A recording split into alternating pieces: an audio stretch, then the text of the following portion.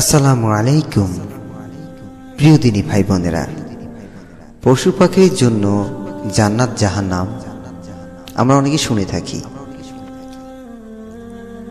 কিন্তু ব্যাপারটা হচ্ছে, পশু পাখি কীভাবে জান্নাত জাহান্নামে যাবে বা পশু পাখির কি বিচার ফয়সালা হবে কি না এই বিষয়ে নানান প্রশ্ন, নানান সন্দেহ নিজেদের মধ্যে প্রশ্ন জাগতে পারে। পশু পাখির জন্য আখিরাতে মূলত জান্নাত বা জাহান্নাম কোনোটা আছে কি নেই তা আজকে লেকচারের মাধ্যমে আপনারা বুঝতে পারবেন, ইনশাআল্লাহ।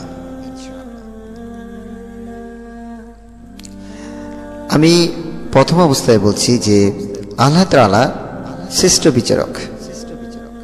তিনি পুনরুত্থান করবেন সব কিছুই পুনরুত্থান করবেন। মানুষ, পশু পাখি, মূর্তি, যা আছে, সকল কিছুই পুনরুত্থান করবে। সূর্য পুনরুত্থান করা হবে, কিন্তু একটু ব্যতিক্রম।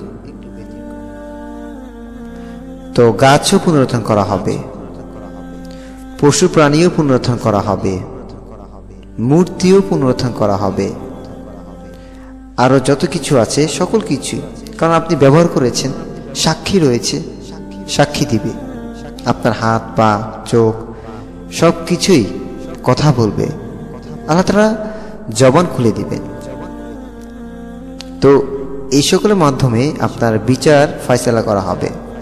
আপনার চারপাশে যত বস্তু রয়েছে, জীব, অজীব, পদার্থ সব কিছুই আপনার জন্য সাক্ষী।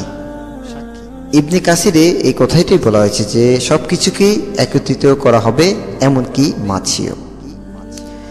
ছোট একটি চড়ুই পাখি আল্লাহর কাছে অভিযোগ করে বলবে যে, হে আমাদের রব, আমাকে অমুক অমুক ব্যক্তি বিনা প্রয়োজনে হত্যা করেছে।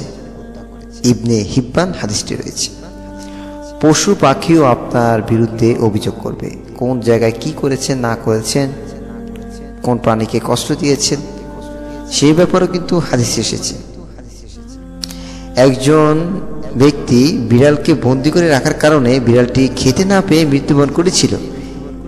এরই জন্য ওই ব্যক্তিকে জাহানামে আগুনে নিক্ষেপ করা হয়েছে। সহি বুকারি এবং মুসলিমে হাদিসটা এসেছে।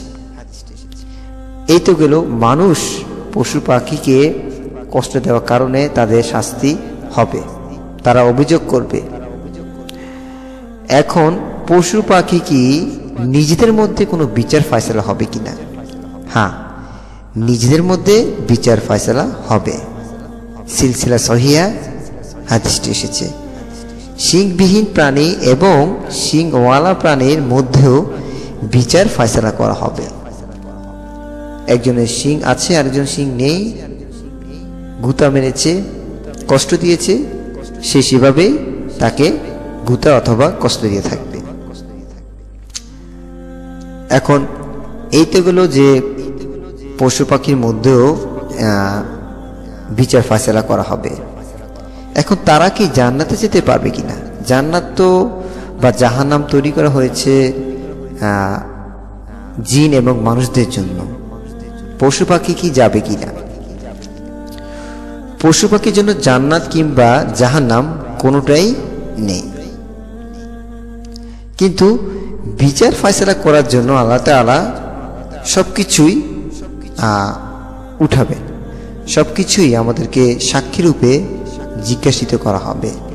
আবার আল্লাহ তালা সিলসিলা সহির মধ্যে উল্লেখ করেছেন যে, সকল কিছু যখন বিচার ফাইসলা করা হবে, তখন সবই ধুলোবালিতে পরিণত হয়ে যাবে। অর্থাৎ আপনার, আমার পশু পাখি, জড়বস্তু, পদার্থ, যা আছে সব কিছু বিচার ফয়সলা করা হবে, সাক্ষী হিসেবে আনা হবে।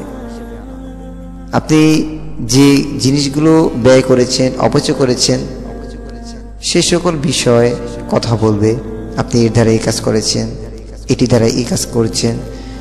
সকল কিছু যখন বিচার ফয়সলা হয়ে যাবে, তখন দেখবেন যে আল্লাহ তালা আমাদেরকে জানাতে দিয়ে দেবেন কিংবা জাহানাম দিয়ে দেবেন, আর বাকি সব কিছুই ধূলিছাত হয়ে যাবে। আশা করি আপনারা বুঝতে পেরেছেন।